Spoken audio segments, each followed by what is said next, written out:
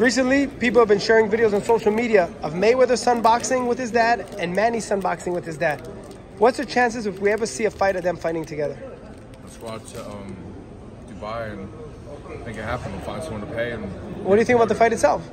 I think Mayweather's son will win. I mean, uh, Manny's son will beat Mayweather's son. Will we ever see their dads in an exhibition? Their dads, I don't know, the sons, they could do Mayweather Pacquiao too with Jimuel Pacquiao. And, It would sell. The whole world would tune in. Both of them are good kids. Mayweather's son is a great kid. but Mayweather got a hair implant, chin implant. He's he's old when you get hair implants. The dad. Mayweather. Yeah, but Mayweather's son is a really good kid. I've never seen him fight. He can't fight though, can? I don't know if he fight, but he's a good kid. And Manny's son are, how many amateur fights does he have already? Six? Five? Four. But he's, We're he's at been fifth- active. Fifth, November 5th. All right, here in LA. In the gym every day. Trains a wild card, spars every day. Every Tuesday, Thursday, Saturday. He's doing his thing. Great kid. So maybe one day we'll see it. Never see an exhibition of that. No, no exhibition ever.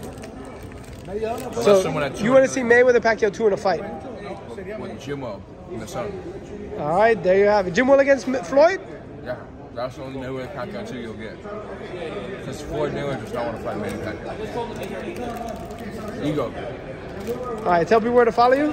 Follow me, Vivo Promotions. Make sure to follow him. Stay tuned. Elie Seckbach reporting.